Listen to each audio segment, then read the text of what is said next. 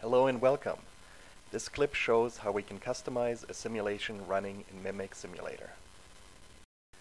We just invoked the graphical interface called Mimic View from the Start menu.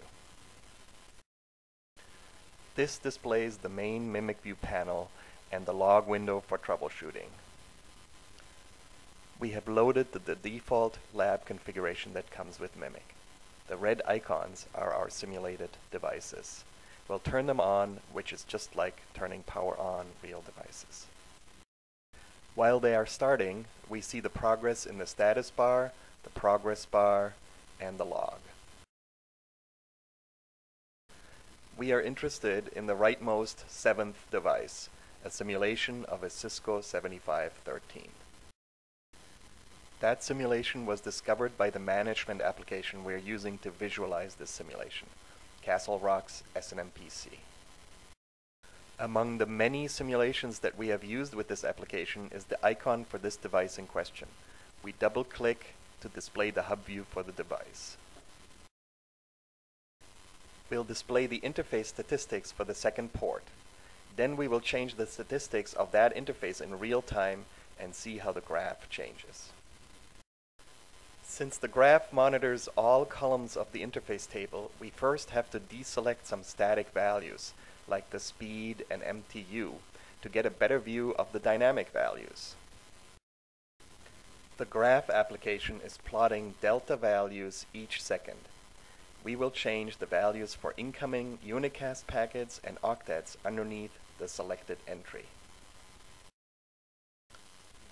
We will switch over to the Mimic View panel.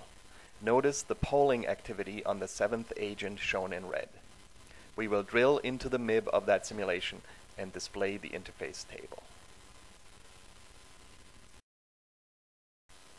Out of all the MIB objects and instances, we will change only the incoming unicast packets for the second interface. Notice the variation in delta values that are caused by the default random simulation. You can also use a constant simulation, then that graph would be a straight line useful for testing your app, just not very appealing for this demo. As soon as we press apply, the graph changes and the light gray line surges.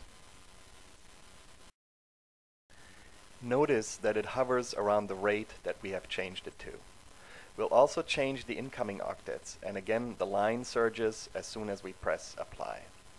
Of course, whatever we're doing in this GUI can be scripted. In fact, the entire GUI is just a big Mimic script.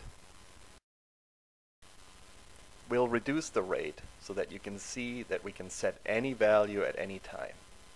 Notice how the dark gray line drops on cue. Then we'll increase the incoming error rate simulating failures. Notice that its rate was very low, or about 10 per hour. We'll change it to 1000 per second. The green line appears on the graph. This shows that we can easily introduce pathological conditions into the scenario. Rather than having to cause errors by manipulating the physical world, we just point and click. We'll reset the scale on the graphing application so that you can see the green line. You saw how easy it is to customize the values in a simulation using Mimic. Thanks for watching.